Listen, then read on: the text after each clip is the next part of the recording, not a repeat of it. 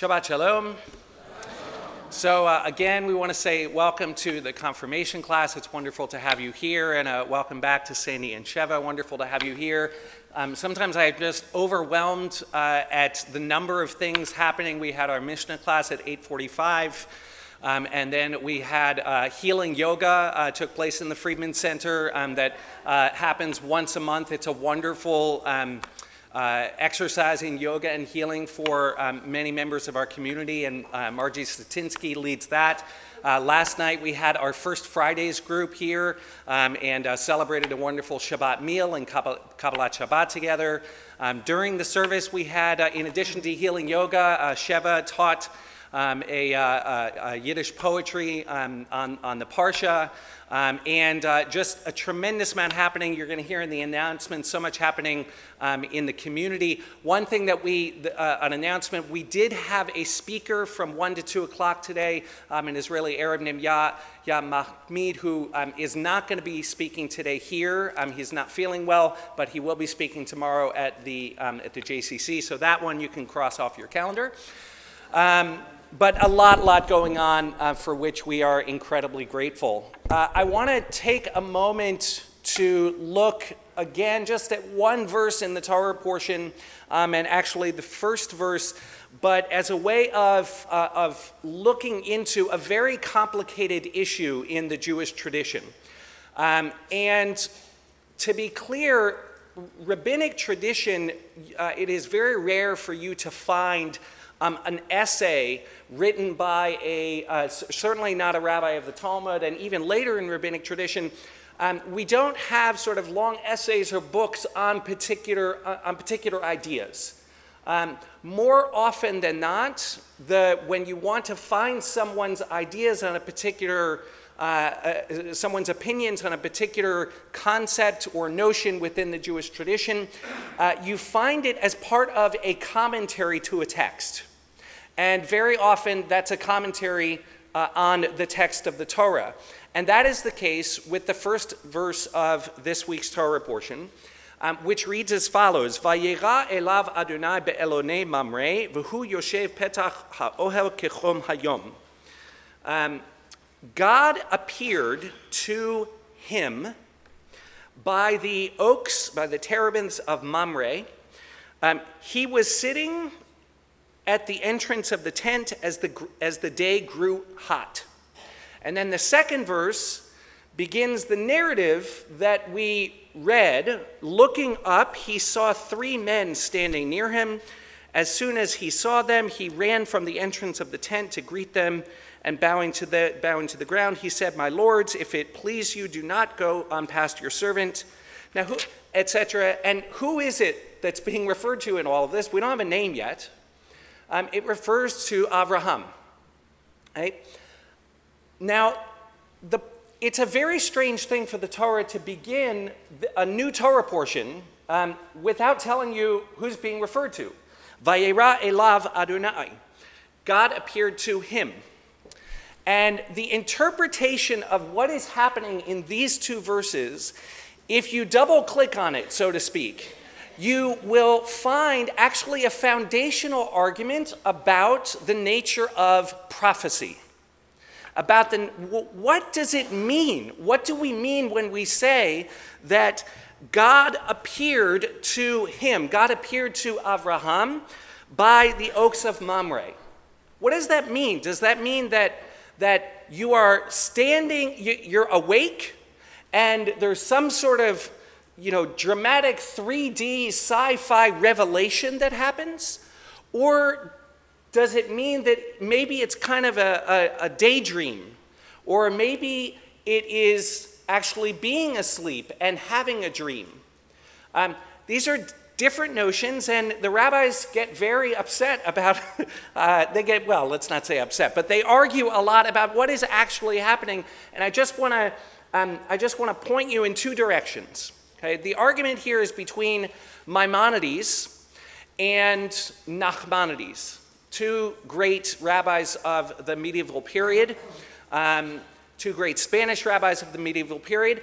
And Maimonides is going to interpret it as follows when it says the Lord appeared to him, Lord appeared to Abraham by the terebinths of Mamre, he was sitting at the entrance of the tent as the day grew hot. Looking up, he saw three men standing near him. The way he interprets that is God appeared to Abraham. And what was the content of that revelation? The content of the revelation was that three men appeared standing next to him. Okay? You understand how he's reading that? It's essentially a, God appeared to Abraham, colon, right? And what comes next is the description of what the revelation was. Okay? Because the Torah actually doesn't tell you what was the revelation, right? Usually, if it says God appeared to somebody or God spoke to someone, it tells you, and God said, or and God commanded, or something like that. There's no description of what the revelation is, and Maimonides wants to be clear that the revelation is what follows. And for Maimonides, um, this is uh, prophecy in general is all a dream. It's either a dream that one is asleep during, or it can be essentially a wakeful state of a vision, um, a daydream that we might, uh, that, uh, something that we might encounter as a daydream. And he says that prophecy doesn't come from God for a prophet, but rather it arises from the prophet himself. Okay, and I'm going to read you a short passage from uh, a wonderful, if very complicated book on Maimonides by the scholar Moshe Halbertal, who has been here at Beth El a number of years ago, I think for Rabbi Sager's 25th year, uh, to celebrate his 25th year in the congregation. Let me just read you this, this paragraph. The contents of a prophet's dream, like those of all dreams, are influenced by the prophet's waking life. Okay? So I'm sure we've all had this experience where it's stressed about something, and then lo and behold, we find that we had a dream at night, and all of our stresses are showing up in our dreams.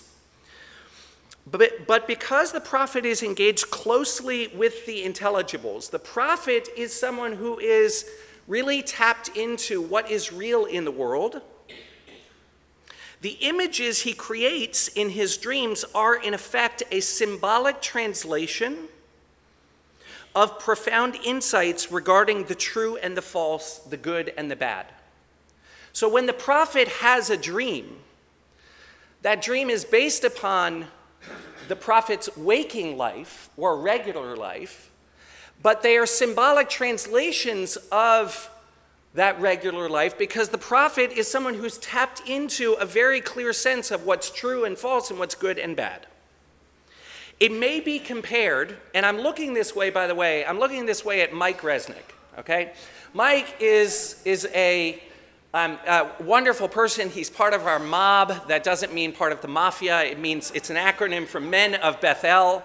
He is one of our mob bosses. He's um, engaged in the congregation. He's also a wonderful scientist, a wonderful world class geneticist, and he is a sparring partner um, as a, a, a proclaimed atheist.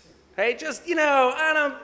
I love the I love the kiddish. I like all the people, all the ceremony and stuff, but I don't really believe in this whole God thing. Okay, and by the way, I got his permission to do this to him, and lest lest you be worried, it's okay. All right. And, and as I was reading this paragraph, I thought of Mike because what Halbertal writes about Maimonides' notion of, of, of prophecy, he says it may be compared to a mathematician who awakens in the morning with a solution to a complex mathematical problem that appeared to him.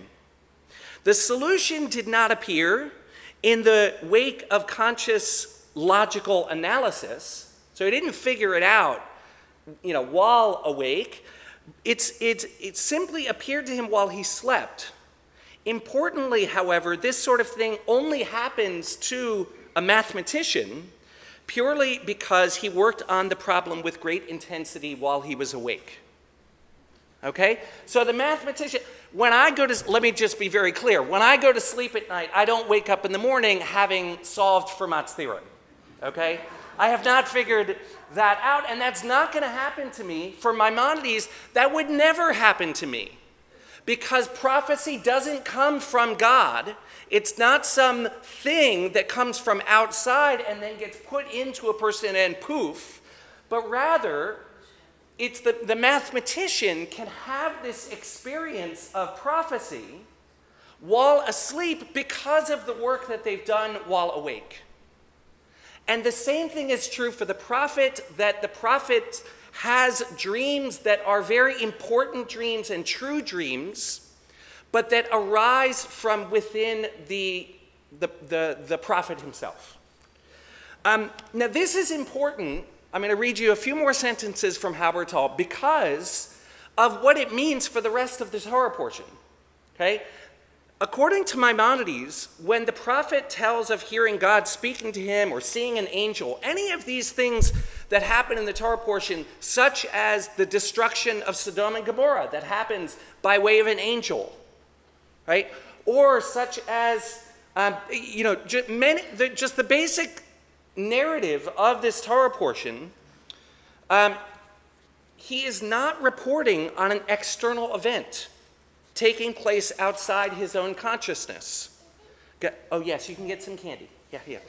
God does not reveal, we understand each other, we know, we go way back. Um, God does not reveal himself to the prophet in a dream. Rather, the, the, the, um, the, the prophet dreams that God revealed himself to him. And then this is the sentence The difference between these two concepts is vast as vast as the difference between going out for a pleasant walk and dreaming about that walk. Did you actually go for a walk? Or did you sit there and you dreamed that you went for a walk? And for Maimonides to be very clear, in his formulation of what happens in this Torah portion, everything that we read not everything but but the main narrative of what we read and you can you can tease this out where exactly does does essentially abraham wake up from the dream right or wake up from the revelation but essentially the narrative of this week's torah portion didn't happen outside of abraham's mind the narrative of this week's torah portion is a description and important stories that point to important truths that arise from Abraham being a person who is tapped into truth and is tapped into good and bad. And so when Abraham even negotiates with God, some of the most important principles in the Torah portion eh, of, of the Jewish tradition are in this week's Torah portion. When, when we when we read the verse, God, when Avram says to God, Will you sweep away the righteous with the wicked? There are few more important verses that have been uttered in the Bible or in human history because we believe in a God of justice. But for, I don't want to say but, for Avraham, for according to Maimonides, when Avraham says those things, they are, they're not happening in an actual conversation between God and Abraham, but they, it's the content of a dream or a prophecy that is there to teach. Now, I told you if you double click, then you get the debate. This drives Nachmanides in crazy. because essentially, and I'm, and, and I'm not going to walk you through all parts of it, but how does Nachmanides understand this?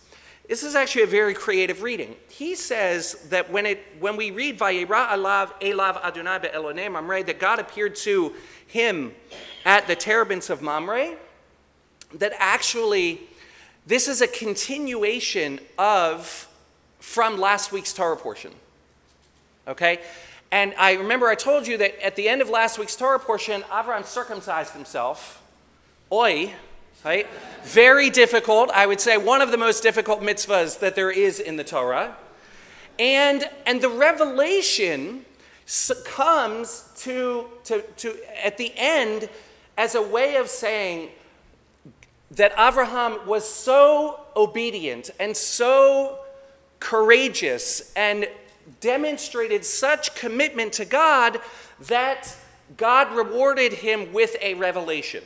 Okay, so the content of the revelation points backwards, and there doesn't need to, for Nachmanides, he says, there doesn't need to be any content.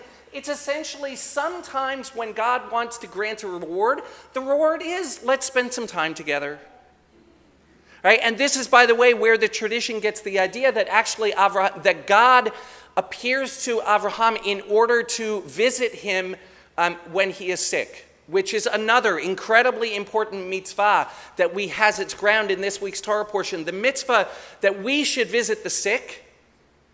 And our community of care is so involved in this. And if you want, there are people who are in constant need of, of, of company, not because, the, not because our company makes them magically feel better, but because it communicates you're not alone. That mitzvah comes from this moment. We're told that we should do this because doing so is imitating God. And when did God visit the sick? With Abraham. So the revelation is the visiting of it, it, it you know, um, is the conclusion of what comes after. And then when it says, looking up, he saw three men standing near him, that's real. Because Nachmanides says, if you if you, if you follow Maimonides, that means that when it says that the angel, that people ate, nobody actually ate, right? And when it says that there was this conversation happening, nothing, you know, no, nobody actually spoke. When it says that Sodom and Gomorrah was destroyed, nobody, nothing actually happened. And Nachmanides says this makes a, a forgery of the Torah. And you can't do that. so First of all, here's what I would like to say to, to Mike, and I'm constantly saying this to you, but I'm saying it to all of us, which is that if we struggle with the supernatural elements in the Torah, if we struggle with the idea of prophecy as being something like from a sci fi movie where God whispers into your ear and says, um, do this and do that we are not alone, and we are not outside of the Jewish tradition. So Mike can say he's an atheist all he wants, but I say he's a good Jew. I say that he, I say that he follows in the footsteps of Maimonides, who sought a rational understanding of the Torah, and that that is deeply Jewish and a deeply, a deeply ingrained part of our tradition. And if you read this and you say to Maimonides, that leaves you with nothing. You're also on good terms with the tradition because Nachmanides says, hey, wait a minute. Hey, you can't say that every, you know, that, that this is just all naturalistic stuff because it le- it's a stretch. It leaves you with really pushed readings. And both of those are okay. And both of those are Jewish, and both of those are deeply part of the Torah and arise from our tradition and the study of our tradition, reading the commentaries of Ramban and reading the commentaries of Maimonides opens us up into a deep world that may not appear the way that we are used to through essays um, and, and lengthy discourses where everything follows one thing from, from another. We have to learn a different way in, but that richness and that depth is there.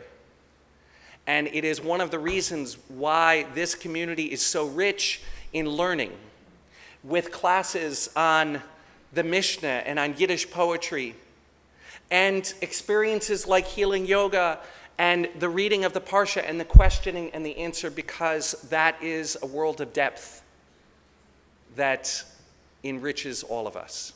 Shabbat Shalom.